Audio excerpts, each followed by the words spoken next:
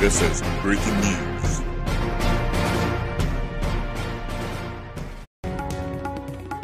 दतिया ज़िले में समर्थन मूल्य केंद्रों पर गेहूँ खरीदी अपने अंतिम चरण पर चल रही है गेहूँ खरीदी के चलते केंद्रों से समय पर गेहूँ का उठाव नहीं होने से हज़ारों क्विंटल गेहूँ खुले आसमान के नीचे पड़ा हुआ है जो कभी भी बिन मौसम बारिश का शिकार हो सकता है। बीच बीच में मौसम ने अपनी करवट बदलते हुए बेमौसम बारिश की थी। खरीदी केंद्रों से गेहूँ परिवहन व्यवस्था ध्वस्त पड़ती नज़र आ रही है। ज़िले में चौहत्तर खरीदी केंद्र हैं और चौहत्तर केंद्रों पर ऑफलाइन और ऑनलाइन समेत लगभग एक लाख क्विंटल से अधिक गेहूँ खुले में पड़ा है। इसकी मुख्य वजह इस बार गेहूँ खरीदी में लगी शिवाय कॉरपोरेशन लिमिटेड द्वारा सुस्त और धीमी चाल से उठाव किया जा रहा है।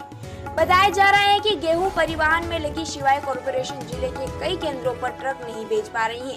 केंद्रों पर एक से दो ट्रक बड़ी मुश्किल से पहुँच पा रही है। यानी कहा जाए तो गेहूँ उठाव व्यवस्था में परिवहन ध्वस्त नज़र आ रहा है, जिसमें खरीदी केंद्र संचालक भी परेशान है।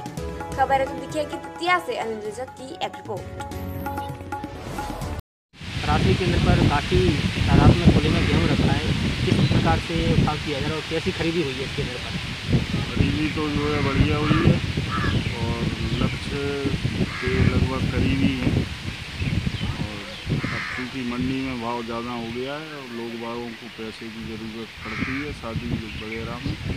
तो यहाँ भाव कम है और मंडी में साढ़े अठारह सौ रुपये उनको मिल रहा है। तो खरीदी सेंटर लगभग बंद की स्थिति में आ गए और पेमेंट पेमेंट सब किसान का हो ही टाइम पे।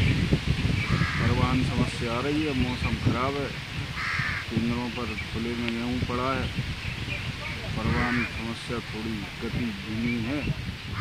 मौसम को देखते हुए शासन उसको बढ़ाए। केंद्र पर कितनी के, मतलब खरीदी हो चुकी है? केंद्र पर बत्तीस हज़ार कुंटल गेहूँ। दिया जा चुका है किसानों के कितने पंजीयन हुए थे? किसानों के यहाँ पर सात सौ कुछ पंजीयन थे जिसमें से फिफ्टी परसेंट से ऊपर किसान आ चुके हैं। मतलब ये कम जो अब नहीं आ रहे ये मतलब मंडी जाने की वजह मंडी मंडी जा रहे हैं। सरकारी रेट क्या है? सरकारी रेट अठारह सौ चालीस है और मंडी में साढ़े अठारह सौ रुपये के ऊपर चुनाव के तत्काल बाद से हो गई है इसलिए केंद्रों पर इस बार उठाव का ठेका किसका हुआ है? उठाव को सिवा कॉरपोरेशन है। उनका जो है दीप तिवारी जी हैं कोई और वीर मोहन शर्मा जी उनका है। तो उठाव की गति थोड़ी मतलब जब से खरीदी चालू हो जाती है तो उठाव का एक अपने आप में एक क्रम रहता है कि खरीदी करने के पश्चात में समय समय पर उठाव हाँ। किया जाता जाता है जिससे कि कुछ हानि ना हो। हाँ। हाँ, तो इसका जैसे उठाव नहीं होता तो बारिश होने से क्या है है कि उनकी तो क्या प्रभाव पड़ता होगा?